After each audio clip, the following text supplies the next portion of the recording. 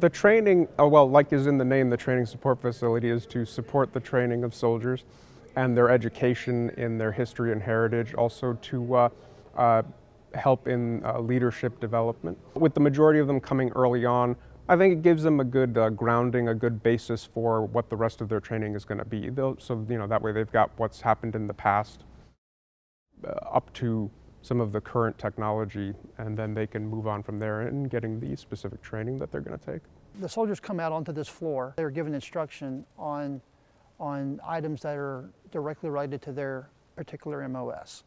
So if a uh, track, track mechanic came through, they would look at the various uh, track and suspension systems on the tanks, and it would show them how they evolved.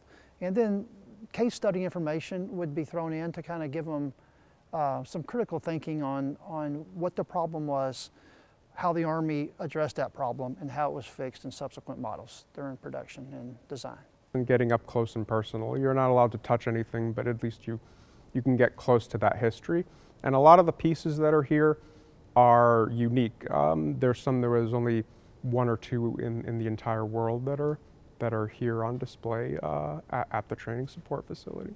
They've uh, been filming a series of short films here even since before I got here, and they're available on the uh, Ordnance Facebook page. Folks who are working either in the museum system or here on the base or in Ordnance um, have highlighted important historical pieces from the collection, and uh, they'll do uh, a specific background film on that and uh, explain why it's significant, why it's being preserved here at the uh, training support facility.